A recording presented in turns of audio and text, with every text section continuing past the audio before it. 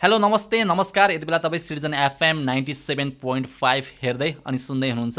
मेरो नाम हो ग्रीष्म जङ कार्की र आजबाट हामी हरेक म्याच डेमा स्पोर्ट्स जोन लिएर आउनेछौँ। स्पोर्ट्स जोनमा हामी विभिन्न टिम्सहरूको बारेमा कुराकानी गर्नेछौँ र यो पालि भने हामीसँग प्रेडिक्ट एन्ड विन कन्टेस्ट पनि रहनेछ। यहाँले फोन गर्न सक्नुहुनेछ आफ्नो टिमको बारेमा कुराकानी गर्न सक्नुहुनेछ र हामीले पनि विभिन्न फिल्मी जगतदेखिको लिएर स्पोर्ट्ससँग रिलेटेड सेलिब्रिटीहरूसँग पनि कुराकानी गर्नेछौँ। ओके सो आजको कार्यक्रममा भने चाहिँ हामी फोन कल्सहरू लिने छैनौँ तर एकजना विशेष अतिथि हुनुहुन्छ हामीसँग। उहाँसँग हामी युरो युरोकपको राउन्ड अफ सिक्सटिनको बारेमा कुराकानी गर्नेछौँ। उहाँ हुनुहुन्छ राइज अनलाइनका खेलकुद विश्लेषक र Rise अनलाइनका sports content creator Bishan Paudel. उहाँसँग यो विशेष कुराकानी गर्नेछौँ। ओके विसन स्वागत छ कार्यक्रममा। Thank you thank you for having me Euro Cup कतिको फलो गरिराख्नु भएको छ? युरोकप अभियसली फलो गरेर फलो गरिरहेको छु। अब रातभरि हेऱ्यो हेऱ्यो दिनभरि सुत्यो त्यही त हो। ओके सर अब कुरा गरौँ डेनमार्कको होइन? डेनमार्कको जुन त्यो इरिक्सनको इन्सिडेन्ट भयो होइन? अब त्यसपछि डेनमार्कले अन्तिम खेलमा क्वालिफाई गरे होइन? सो कस्तो रह्यो त डेनमार्कको पर्फर्मेन्स जस्तो लाग्छ तपाईँलाई? पहिलो कुरा चाहिँ अब क्रिस्टियन एरिक्सनको जुन अनफर्चुनेट सिचुएसन भनौँ अनफर्चुनेट सिचुएसन पछि चाहिँ मलाई एकदम आई होप कि डेनमार्क क्वालिफाइड होइन? लाइक प्रोबब्ली एभ्रिबडी एल्स अनि डेनमार्कले फर्स्ट गेम चाहिँ जुन एकदम विनेबल गेम हो अनेस्टली भन्नुपर्दा फिनल्यान्डसँग उसले त्यो गेम चाहिँ अब त्यो इन्सिडेन्टले गर्दा पनि हार्यो होला मेन्टालिटीले सेकेन्ड गेममा अब ड्र भयो। थर्ड गेममा गएर चाहिँ डेनमार्क सोड द क्लास भन्छु म। अब मलाई चाहिँ पर्सनल्ली चाहिँ मिकेल टाम्सकार्ड भन्ने एउटा प्लेयर जसले चाहिँ अहिले एरिक्सनलाई स्क्वाडमा रिप्लेस गरेको छ इलाइनमा ऊ चाहिँ निकै राम्रो लागेको छ होइन। अनि ओभरअल चाहिँ डेनमार्कको पर्फर्मेन्सले पनि ऊ क्वालिफाई हुन डिजर्भिङ छ। प्लस जुन क्रिस्टियन एरिक्सनको इन्सिडेन्टले चाहिँ I'm very happy for them okay so अब रोबोटो म्यान्चिनीको इटलीको कुरा गरौँ होइन? एउटा टाइम थियो जहाँ इटली चाहिँ वर्ल्ड कप विनर थियो होइन? अनि त्यसपछि यस्तो पनि टाइम आयो जहाँ चाहिँ इटली वर्ल्ड कपमै क्वालिफाई भएन होइन? तर अहिले फेरि इटलीले एकदम राम्रो खेलिरहेछ क्या। अब यो बिचमा चाहिँ के चेन्ज भयो जस्तो लाग्छ तपाईँलाई? स्वागर फर्स्ट थिङ चाहिँ इडलीको स्वागर चेन्ज भएको छ उसको टिममाथिको पर्सेप्सन चेन्ज भएको छ। इडली पहिला जस्तो डिफेन्सिभ टिम छैन होइन? उसको गेम हेर्दाखेरि कस्तो राम्रो फ्लोमा खेलेर हुन्छ यो गेम हेर्नै रमाइलो हुन्छ कि इडलीको सायद यो वर्ल्ड कपमा चाहिँ सबभन्दा रमा रमाइलो गेम हेर्न चाहिँ इडलीको हुन्छ। जर्मन जस्तो एकदम रिलेन्टलेस प्रेस गर्दैन। इङ्ल्यान्ड जस्तो त्यसरी एकदम स्लो बिल्डअप पनि गरेको होइन। तर एकदम ओभरअल चाहिँ एकदम ब्युटिफुल गेम भनौँ न। प्लस अब तिनीहरूको स्वागरको कुरा गर्ने हो भने त अब प्लेयरहरू नो बडी वेयर्स हेडफोन अब कोचिङ स्टाफ हेर्ने हो भने सबै एकदम क्लोज फ्रेन्ड्स एकदम क्लोज सर्कल जस्तो छ कि इटलीको टिम चाहिँ होइन? आउटसाइड इनसाइड होइन? एकदम फ्रेन्ड्स जस्तो कोहीको कोही माथि इगो छैन कोही माथि केही छैन होइन? So they are really really nice team क्या अहिले चाहिँ एकदम राम्रो खेलिरहेको छ क्या सो म चाहिँ इटलीको गेम हेर्दाखेरि चाहिँ सायद मलाई चाहिँ पर्सनल्ली चाहिँ एकदम एक्साइटमेन्ट लाग्छ होइन? एकदम अहिले आएर चाहिँ mid season mid game mid tournament भनौँ अहिले। मिड टुर्नामेन्टमा हेर्दाखेरि चाहिँ फेभरेट्स इटली नै हो जस्तो लाग्छ अहिले हेर्दाखेरि। ओके सो यो मेरो पर्सपेक्टिभ हो होइन? जति पनि यो टिम युरोकपमा मैले एनालाइज गरेँ होइन? अब सबैभन्दा एउटा के भन्ने अब सकिङ टिम भन्ने कि अब सबैभन्दा अब कन्फ्युज टिम भन्ने कि होइन? स्पेन होइन? लुइस एन्ड्रिकेको स्पेनको कुरा गर्दैछु। सुरुको दुइटा गेममा चाहिँ फेरि पाँच गोल गरेको छ क्या? होइन अब अब के के के लाग्छ स्पेनको अगाडिको जर्नी हेर्दाखेरि अथवा स्पेनले के गल्ती गरेको छ अथवा सही कुरा के गराएको छ? के लाग्छ स्पेनको फेथ चाहिँ के छ जस्तो लाग्छ? यो राउन्ड अफ सिक्सटिनबाट अगाडि बढ्छ जस्तो लाग्छ कि के लाग्छ तपाईँलाई? स्पेनको सही गलत त जुन चाहिँ एकदम ऱ्यामसको इन्जुरी होस् ऱ्यामसको के होस् ऊ होस् यताउति होस् ऱ्यामस जस्तो प्लेयर स्क्वाडमा इन्क्लुड हुनैपर्छ यस इन्जुरी छ यस उसले whole season खेलेन। The but his the bloody best defender in the world ऊ वर्ल्डको best defender for a decade or longer भइसक्यो कि। त्यस्तो प्लेयर अझ स्पेनको क्याप्टेन स्क्वाडमा नपर्नु भनेको चाहिँ लुइस एन्रिकेको तर्फबाट। अब म पोलिटिक्सतिर जान्न बार्सा रियल म्याड्रिडको पोलिटिक्स अब सबै त्यो धेरै नै कभर भइसक्यो। सायद त्यो हो होइन अब त्यो आफ्नै ठाउँमा छ होइन। तर मलाई चाहिँ के मन परेन भन्दाखेरि उसको चाहिँ जुन एउटा युनिट जसरी गेम पनि देख्दिनँ मैले एउटा त्यो ट्याक्टिकल फ्लेक्सिबिलिटी पनि देख्दिनँ एउटै स्टाइलको गेम छ। ओके मैले चाहिँ के अरे जुन चाहिँ हाम्रो लास्ट गेम हेरौँ होइन? लास्ट गेममा चाहिँ उसले राम्रो खेल्यो डेफिनेटली खेल्यो धेरै राम्रो खेल्यो लास्ट गेममा होइन? तर त्यसमा चाहिँ एउटा चेन्ज के आयो भन्दाखेरि Sergio Busquets played in defensive midfield एउटा लिडरको रोल उसले युज गरेको हो कि त्यहाँ। सर्जियो बुस्केट्स चाहिँ was the right selection of captain भन्छु म। ऱ्यामोस नभएपछि चाहिँ होइन? अब बुस्केट्सले एकदम टप क्लास पर्फर्मेन्स दियो क्या। त्यो चाहिँ मलाई एकदम खुसी लाग्यो। तर यो के अरे एकदम अप्स एन्ड डाउन्सवाला टिम छ क्या लाइक अब ऊ ग्रुप अफ डेथमा होइन उसले स्विडन र पोल्यान्डसँग ड्र गर्ने टिम होइन नि त। एउटा गेम त जित्नुपर्छ एटलिस्ट त्यो दुइटामा। जितेन ठिक छ क्वालिफाई भयो। तर अब धेरै टाढा पुग्ला त जस्तो क्वेसन चाहिँ आइरहेको छ होइन। आई डोन्ट थिङ्क चाहिँ ऊ त्यति टाढा चाहिँ पुग्छ अब यो सिचुएसनमा ओके सो अब कुरा गरौँ ग्रुप अफ डेथको ग्रुप एफको होइन। जहाँ चाहिँ अब फ्रान्स जर्मनी पोर्चुगल र हङ्गेरी थिए होइन। अब स्टार्ट गरौँ फ्रान्सबाट। अब फ्रान्सको चाहिँ के भयो भन्दाखेरि जस्तो हामीले फ्रान्सबाट एक्सपेक्ट गरिएको थियो होइन? त्यो लेभलको पर्फर्मेन्स भएन नि त होइन? किनभने फ्रान्सले दुइटा गेम ड्र गर्यो अनि जर्मनसँग गो गोल पनि अन गोल थियो होइन?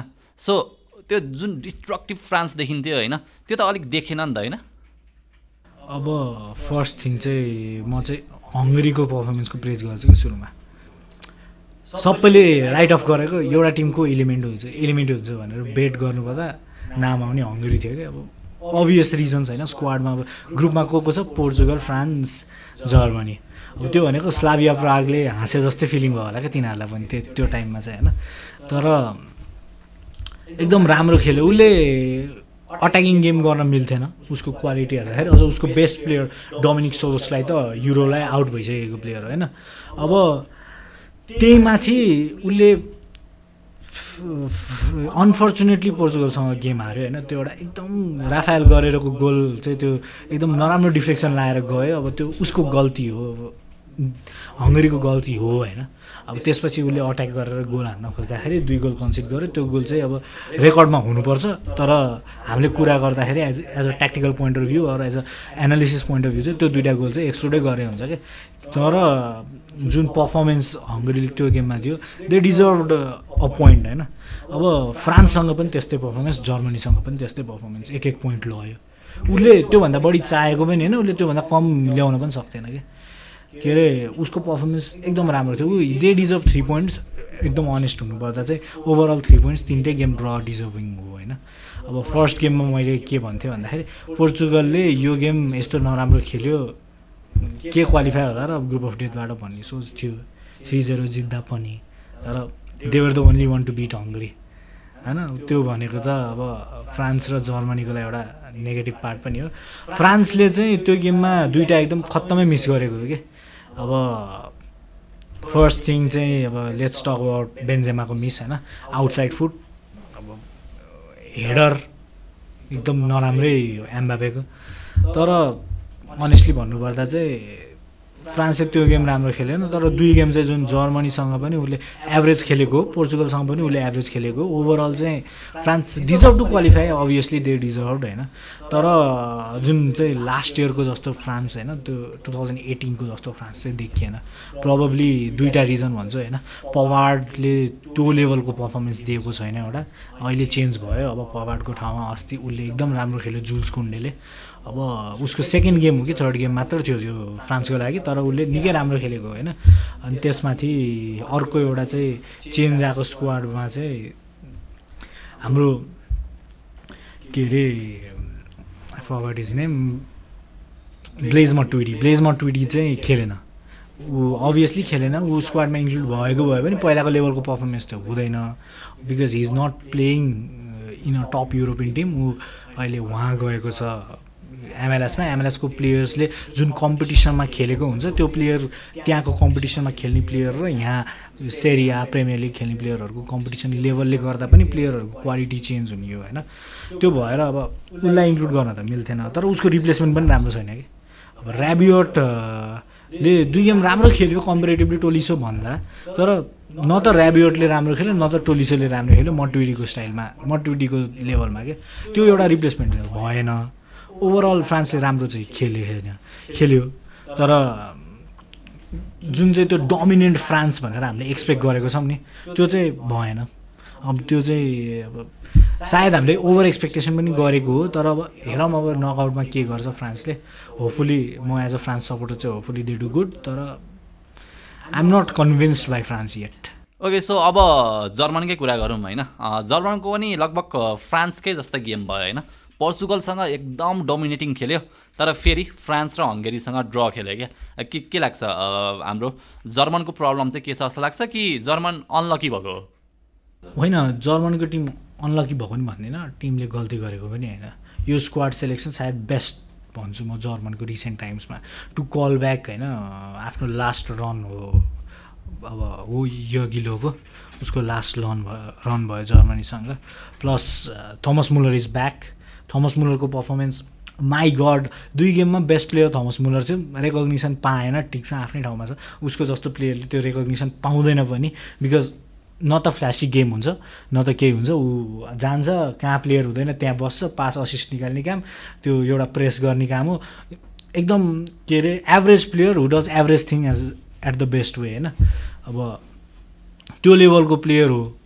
अब त्यो प्लेयरले के अरे इन्क्लुजन हुने राम्रो हो। Germany overall they were good honestly भन्नुपर्दा चाहिँ फर्स्ट गेममा राम्रो थियो फ्रान्ससँग तर अनफर्चुनेट ड्र भयो। जुन चाहिँ अनेस्टली भन्नुपर्दा चाहिँ they did not did not deserve to lose lose I'm sorry loss भयो। जुन चाहिँ unfortunately they did not deserve to lose तर दे लस्ट अब रिजल्ट इज रिजल्ट फुटबलमा अब you deserve you do not deserve matter गर्दैन। ऊ हार्यो। That's it फुटबलमा होइन। त्यो चाहिँ म्याटर गर्छ। तर ओभरअल चाहिँ मलाई जर्मनीको चान्स चाहिँ देख्छु मैले। I think they have a good chance to qualify तर अगाडि जाने पनि चान्स छ। अब it depends upon how the perspective is अब किमिच र गजेन्सले यही लेभलको पर्फर्मेन्स कन्टिन्यू गर्यो भने they are going to do great अब गरेन भने चाहिँ I don't see them doing that well okay so अब पोर्चुगलको कुरा गरौँ होइन? पोर्चुगल पेपरमा त एकदम राम्रो टिम हो होइन? तर अब पोर्चुगलको अब डिफेन्सकै कुरा गरौँ न होइन? रुबेन डायसको कुरा गरौँ अथवा पेपेको अथवा सेमेडोको होइन? डिफेन्स राम्रो हुँदा हुँदै पनि गोल खाइरहेछ होइन? अनि अर्को कन्सर्नको कुरा पोर्चुगलको भनेको चाहिँ ओपन प्लेमा त्यति धेरै गोल हान्न सकिरहेको छैन क्या? हो पेनाल्टी जितेको हो होइन? अब एउटा पेनाल्टी कन्ट्रोभर्सियल थियो त्योभन्दा बाहेक अब डिजर्भिङ पेनाल्टी नै थियो होइन? तर त्यही पनि पोर्चुगलको जुन पेपरमा जुन लाइनअप छ होइन? त्यो अलिकति रिफ्लेक्ट गर्न नसकेको गेममा अथवा फिल्डमा चाहिँ? फर्स्ट अफ अल चाहिँ नेल्सन सेमेडो मलाई चाहिँ एकदम राम्रो मिडफिल्डर लाग्दैन राइट ब्याक लाग्दैन कि एकदम मेयर एभरेज जुन कम्पिटिसन छ अब रिकार्डो परेर पनि भएन। अनि जोआओ क्यान्सेलो पनि भएन unfortunately they two first choice र सेकेन्ड चोइसै नभएपछि नेल्सन सेमेडोले चान्स पाएको हो। बार्सिलोनालाई एउटा प्रप्स चाहिँ के दिनुपर्छ भन्दाखेरि सेमेडोलाई फोर्टी मिलियनमा बेच्यो कि? कसरी बेच्यो? आफ्टर त्यो एट टू भनेको नाइन्टी पर्सेन्ट त सेमेडोको मिस्टेकले भएको एट टू हो कि? अब के अरे as a solo man who handles the wing चाहिँ उसको काम होइन। हुनु नपर्ने हो त्यो लेभलको डिफेन्डरको तर अट्याकिङ पनि राम्रो छैन। डिफेन्डिङमा नि एभरेज हो सेमेडो ठिक छ अब ऊ स्क्वाडमा पऱ्यो। तर ओभरअल चाहिँ मलाई पोर्चुगलको गेममा चाहिँ एउटा इस्यु आएको चाहिँ मिडफिल्डमा जस्तो लाग्छ कि। दुईवटा डिफेन्सिभ मिडफिल्डर खेलाउनै पर्दैन पोर्चुगलले अहिले। अनि ब्रुनो फर्नान्डेजलाई किन खेलाएन लास्ट गेममा स्टार्ट किन गराएन? ब्रुनो फर्नान्डेज सुड स्टार्ट किनकि he is a game changer player होइन? पोर्चुगलमा त्यस्तो प्लेयरहरू रोनाल्डो पनि छ ब्रुनो फर्नान्डेस छ अब जोटा र बर्नाडो सिल्भा पनि त्यो लेभलको नभए पनि दे आर गेम चेन्जर्स होइन? तर ब्रुनो फर्नान्डेस त म्यानमार्क भयो नि त जर्मनीको गेममा। They was no way for him out होइन? अब म्यानेजरको दिमागमा दुई तरिकाले जानुपर्छ। अब म्यानेजरले के सोच्यो भन्दाखेरि अब ब्रुनो प्रब्लममा छ ब्रुनोलाई निकालिदिउँ क्रिएटिभ मिडफिल्डर ल्यायो हुने हो क्रिएटिभ मिडफिल्डर पनि ल्याएन। अब स्क्वाडमा पेड्रो गोन्साल्भेज मिक ओलिभिएरा जस्तो प्लेयरहरू छ। तर ठिक छ ल्याएन होइन। अब म if I was a coach चाहिँ मैले चाहिँ सायद ब्रुनो फर्नान्डेज डिफ के अरे ब्रुनो फर्नान्डेजलाई म्यानमार्क गऱ्यो भने अब उनीहरूलाई अर्को मान्छे म्यानमार्क गर्न राख्यो भने त एउटा मिडफिल्डमा एडभान्टेज पनि पाइरहेको हुन्छ अट्याकमा डिफेन्स डिफेन्डरहरू कम भएपछि. सो पेड्रो गोन्साल्भेज ओलिभिएरा अथवा रेनाटो सान्चेस नै यस्तो राम्रो खेलिरहेको छ। तिनीहरू ल्याएर खेलायो हुने हो। तर पोर्चुगलले त्यो गर्न सकेको छैन। फर्नाडो सेन्टोसको पनि मेबी हिज लस द्याट त्यो युरोकप जित्ने चाम चाहिँ अहिले देख्दिनँ होइन। युरोकप चाहिँ एकदम राम्ररी नै उसले नै प्रप्स पाउनुपर्छ। धेरै म्यानेजरले प्रप्स पाएको छैन होइन। युरोकपमा चाहिँ फर्नान्डो सान्टोसले नि प्रप्स पाउनुपर्छ। उसले राम्रो गरेको नेसन्स लिग पनि जिताएको कोच हो। तर अहिले चाहिँ त्यो लेभलको फर्नान्डो सान्टोसको टिम चाहिँ देखिएको छैन। ओके सो अब धेरैको फेभरेट छैन इङ्ल्यान्ड। इट्स कमिङ होम भन्छन् होइन? तर जुन गेम देखिएको छ होइन? अब अल्दो इङ्ल्यान्डले अब सेभेन पोइन्ट ल्यायो होइन? अब क्वालिफाई भयो ग्रुप लिडरै भएर क्वालिफाई भयो होइन? तर त्यति त्यो कन्भिन्सिङ गेम त छैन नि त होइन इङ्ल्यान्डको जो जसले हेर्नुभएको यो भिडियो एउटा मेन कुरा चाहिँ इङ्ल्यान्डको क्रिएटर कतिजना छ फिनिसर कतिजना छ? Kane is the only finisher England have स्क्वाडमा खेल्नेमा अब ग्रिलिस हेरौँ स्टर्लिङ हेरौँ सान्चो हेरौँ होइन? सबैजना क्रिएटर हो। अब केनलाई पनि क्रिएटर रोल दिएपछि फिनिस गर्ने चाहिँ को? हो वान जेरो पनि लक्कीली जितिराखेको हो क्या अब बुका साकाले हान्यो आउट अफ समवेयर अब स्टर्लिङले हान्यो होइन? त्यो इङ्ल्यान्डको जुन क्वालिटी अफ स्क्वाड छ होइन तर त्यो क्वालिटीमा पर्फर्मेन्स चाहिँ देखिएको छैन कि? अब अझ अब राउन्ड अफ सिक्सटिनमा भन्नुपर्दा त I think Mason Mount won't play ऊ इन्जर्ड छ। प्लस के अरे अब जेडन सान्चोलाई खेलाएकै छैन आई डोन्ट नो भाइ अब त्यो हेर्दाखेरि त्यो कुराहरू हेर्दाखेरि त I have not seen much of England कि जर्मनीलाई जितोस् जस्तो क्वालिटी पनि देखेको छैन कि। जर्मनीलाई जित्न पनि सक्छ कि सक्दैन। सो मलाई चाहिँ I will say it's not coming home I am sorry तर England either need to find a alternative solution quick or they are going out soon okay अब कुरा गरौँ इडेन हजार्डको बेल्जियमको होइन?